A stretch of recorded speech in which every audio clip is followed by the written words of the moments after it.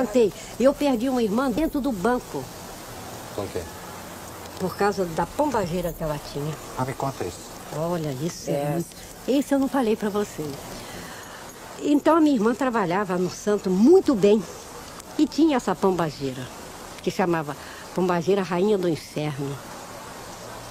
Ela era boa e ruim, mas a minha irmã abusava. A minha irmã chegou uma época que começou a beber a cachaça dela.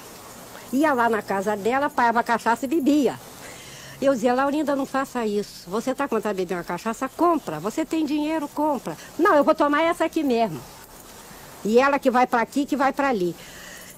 Um dia que ela falou isso, ela veio na minha irmã. Mas é uma coisa impressionante. A minha irmã, quando ela vinha da minha irmã, minha irmã dobrava isso aqui, que parecia um artista de trapézio. Quando ela pegava a minha irmã.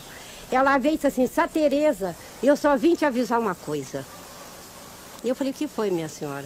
Eu vou levar o meu cavalo. Eu dizia assim, não faça isso. Ela ainda está com o Júlio, pequenininho, a Maria Rita, a Vitória precisa muito desse cavalo. Ela bateu assim em mim e disse assim, quando eu levar ela, você vai acabar de criar. No dia que ela foi receber o tal dinheiro grande que ia me dar para comprar umas telhas, porque era barraco, chovia muito, e ela disse que ia comprar umas talba nova e umas telhas para me cobrir o barraco.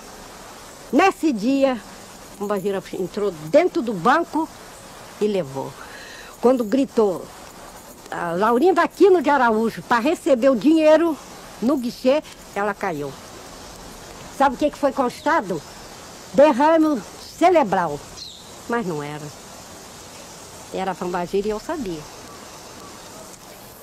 Que quando vieram me buscar, que eu cheguei dentro do HCS para ver o corpo dela, que vestiram, ela, arrumaram e tal, que eu entrei, que eu olhei, daqui assim, toda de rosa vermelha, era a rosa da Pombagira.